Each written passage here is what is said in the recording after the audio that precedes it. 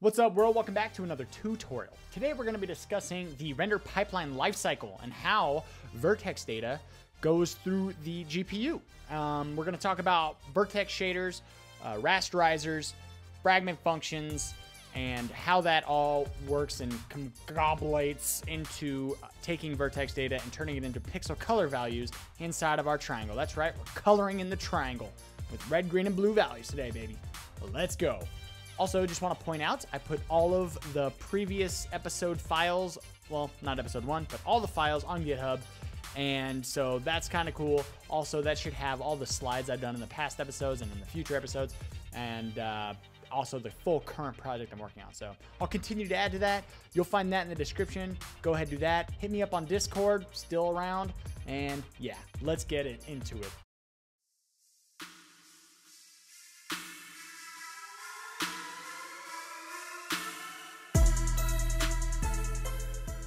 So before we get started with coding, again, I want to cover this from a very top level.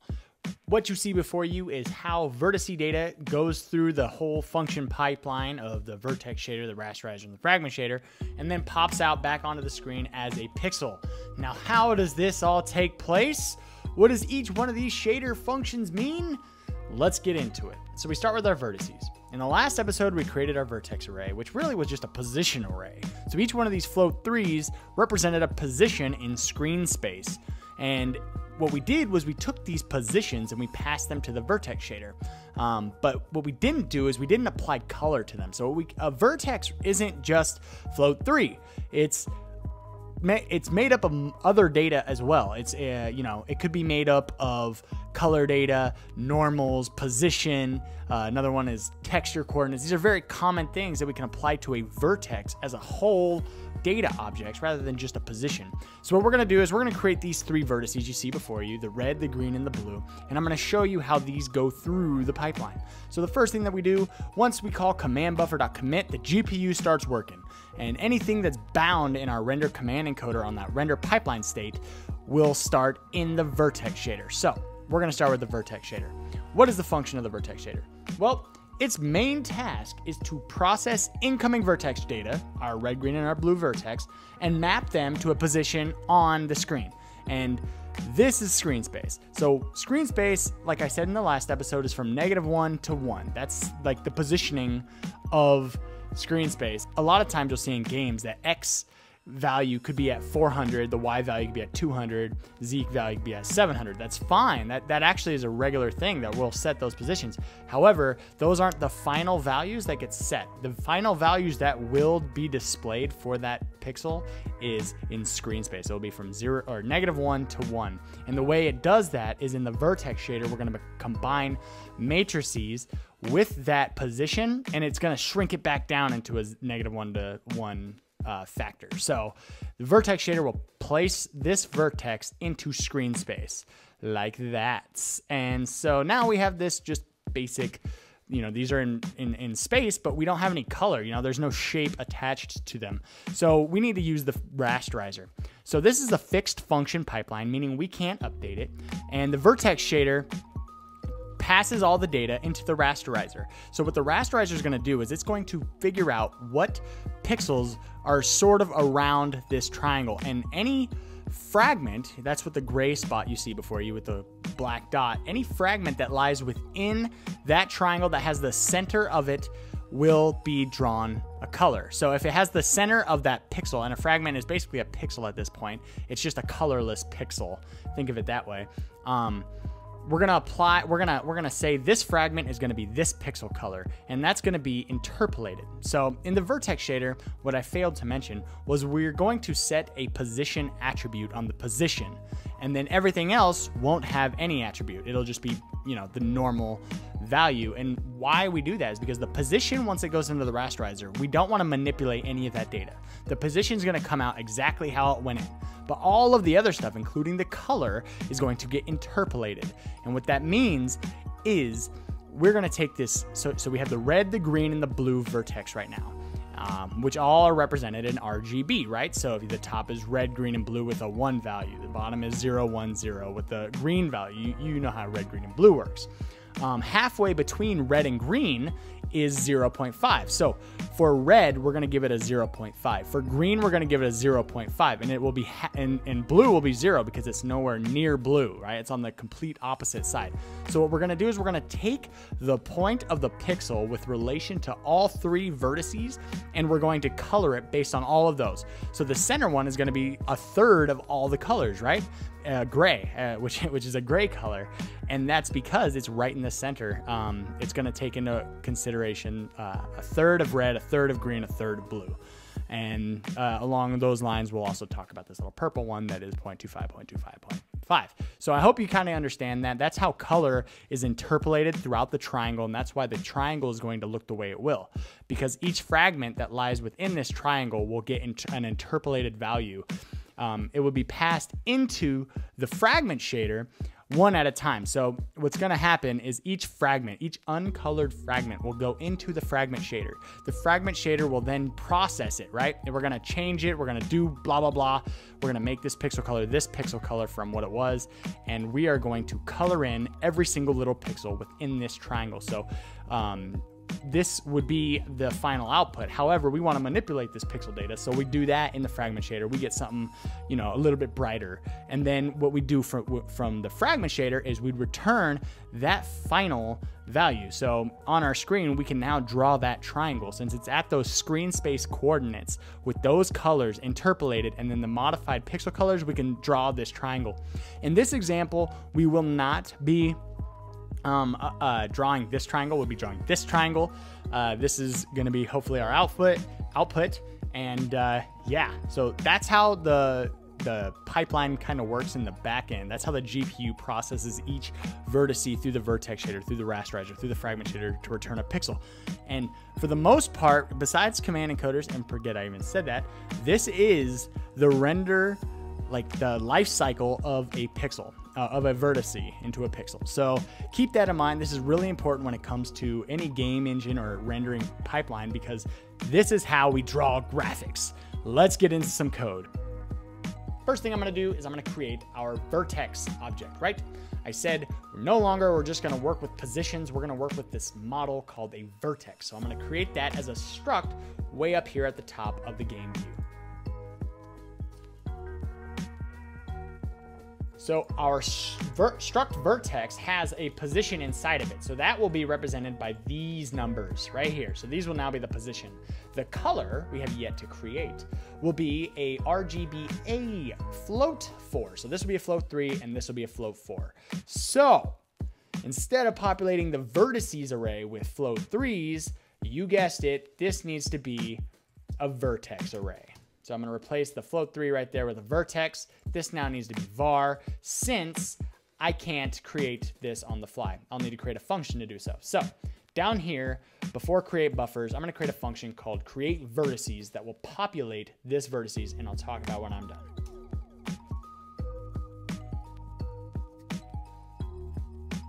Okay, so now that I've done this little function down here, we'll want to call this before we do create buffers, since our buffer is going to be populated with the vertice data, we'll need to call it before create buffer. So I'm going to call create vertices right there. So we don't need any of this code, but notice real quick that this is exactly this.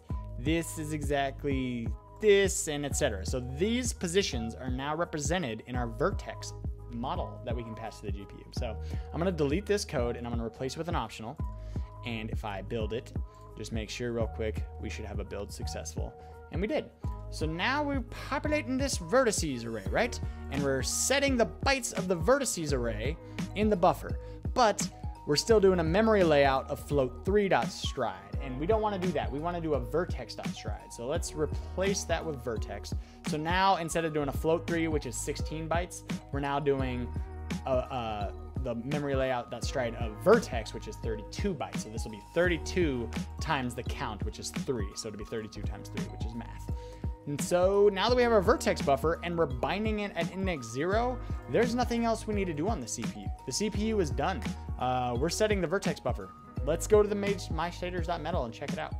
So, um, what we'll need to do first is create a struct of a vertex that represents the exact same model that is on the GPU. Since we don't have access to that from this file, we will need to create one that is similar to that. So in the game view, we had uh, vertex, position, color. So what I'm gonna do is I'm gonna create a struct here called vertex in, and it's basically just the vertex that comes into the vertex function. Um, and then it will use that same exact order too. So position, then color. So watch this. Okay, easy peasy, right? So the position is a float three, just like it is on the CPU, and the color is a float four, just like it is on the CPU. And so, and you remember we're binding the buffer with vertexes, right? So this float three is no longer a float three, it is a vertex since that's what the buffer is filled with. It's, a, it's full of this exact same model. So what I'm gonna do is I'm gonna replace this with a vertex in. So it's gonna be vertices of vertex in which means this right here used to be returning a float 3, which was our position. So instead of calling this, well, we have a model now of a vertex, and we can just call that dot position. So we're going to call vertices at vertex ID dot position. And if I were to go ahead and run this and see what the output is, I should get a nice white triangle. Since we're not using the color yet, right? Um, but really, the next goal is to utilize the color. Let's stop that and go into how to make color appear. So, um, like I said in the explanation, we go from the vertex shader into the rasterizer. Now, the rasterizer is a fixed function pipeline, which uh, pipeline function, which means we we don't manipulate it. We can do raster order groups, which you don't need to worry about right now. But really, the rasterizer is just off in space. So any whatever we were to return from the vertex shader will go to the rasterizer, and we can kind of define the properties of what is going to the rasterizer so it knows what to do with them. And I'll, I'll explain that as soon as I create our rasterizer data. So I need to create a rasterizer data object that goes off into the rasterizer. So let's do that. Now, our rasterizer data is, um, you know, it's, it's the same exact thing, except for this time with the position, I'm gonna need to use the position attribute qualifier. And just like I said in the example, or the, the explanation, we need this position on position because anything that goes into the rasterizer will be interpolated between all three of those triangle points or whatever points you're passing to the rasterizer. So we need to say this is the position. Don't touch these values. Anything else that is not marked with this position attribute will be interpolated between those three. So color will be interpolated to each pixel value. Uh, if we had a float banana, the banana will be interpolated and whatnot. You know, it kind of goes on. But for now, we're just using position. Make sure that that stays the same as soon as it comes out of the uh, rasterizer and color. So we go into the rasterizer. Um, so what I need to do is instead of returning a position into the rasterizer, I need to return rasterizer data. So I'm gonna go ahead and replace all of the vertex shaders float fours returning with rasterizer data. Okay, so now that I've done this, I'll explain what I just did. So I created a rasterizer data object, one of these things, um, and then I populated it. This is the position that I was returning from before, so exactly the same position. And then the color now is going to be vertices.color. Um, so whatever vertex in dot color, right? Um, and so it knows now that I'm creating I'm creating fragments for each one of these, and I'm I know that this fragment will have this color, but we're not doing anything with that yet because it's coming out of the rasterizer un, like it doesn't do the shading it doesn't populate the color it just figures out what color it's going to be. So what we need to do is in our basic fragment shader the rasterizer will come out of the rasterizer into the fragment shader as an object. So we need to take that in as a parameter and then we can process it and i'll show you that right now. So we, we're going to take in the rasterizer data as a parameter. And then we're gonna create, we're gonna return the color of the rasterizer data. And that's pretty much, that's very easy. I'll show you how, just watch this. And that's that. Now that we are taking in our rasterizer, except I'm missing, okay, sorry. I missed one thing. So we, we're taking in the parameter of rasterizer data, but we need to use one attribute qualifier. So every, every parameter needs an attribute qualifier. And for this case, we need something called stage in. And that's because we're doing it per pixel or per fragment. Um, so it's gonna, every single fragment will come through this uh, fragment shader, figure out what color that pixel is, and update it. So this will be per pixel. So it's to say the color of that pixel is this pixel. So we can do anything we want. We can do like color times or color equals color times four, and then it will be really white. You know, uh, we can manipulate the color here. But now that we have this implemented and this implemented and our rasterizer is doing whatever the hell it wants to do, we're gonna press play. And I'm hoping to see this beautiful color. Oh, there's a, I'm expecting something. What am I missing? I'm missing this guy.